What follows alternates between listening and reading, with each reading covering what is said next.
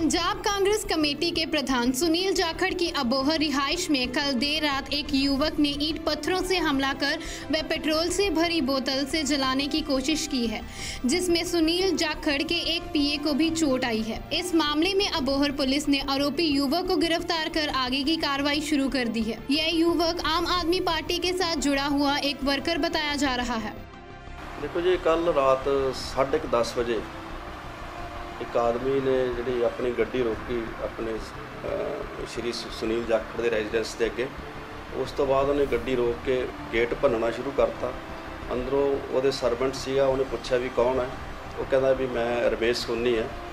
ਤੇ ਇਸ ਤੋਂ ਬਾਅਦ ਉਹਨੇ ਆਪਣੀ ਗੱਡੀ ਦੀਆਂ ਜਿਹੜੀਆਂ ਬਾਰੀਆਂ ਖੋਲ ਕੇ ਉਹ ਅਹ, ਵਿੱਚੋਂ ਕੁਝ ਇੱਕ ਬੋਤਲ ਕੱਢੀ ਉਸਨੇ। ਖਾਰੇ ਸੋਡੀ ਦੀ ਵਿੱਚ ਉਹਦੇ ਪੈਟਰੋਲ ਸੀ ਅੰਦਰ ਸੁੱਟਿਆ। ਤੇ ਇਸ ਤੋਂ ਇਲਾਵਾ ਉਹਨੇ ਕਾਫੀ ਨਿਊਸੈਂਸ ਉੱਥੇ ਕੀਤੀ।